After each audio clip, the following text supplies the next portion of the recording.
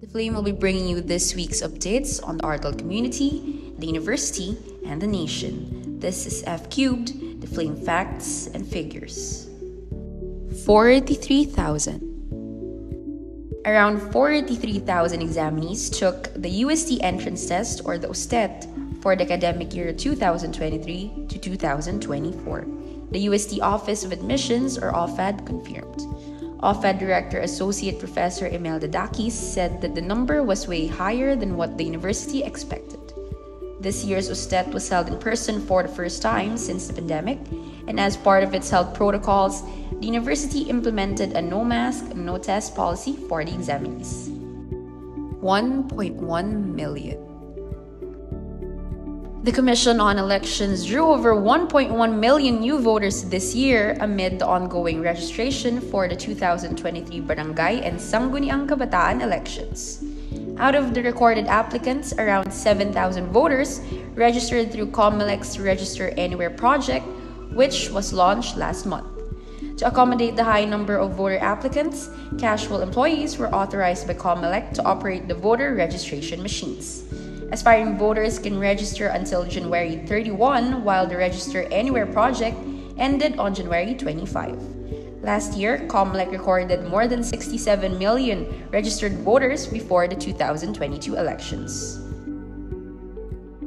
146 million. With 146 million SIM cards still unregistered, Senate Public Services Committee Chairperson and SIM Registration Act author Senator Grace Poe urged telcos to speed up registration processes. Subscribers have until April to register. The registration period may only be extended for 120 days. SIM cards will be activated if not registered within the given period. Poe also asked telcos to ensure better registration assistance for mobile phone users in geographically remote areas senior citizens, persons with disabilities, pregnant, minors, and those without regular access to the internet and mobile data. 200.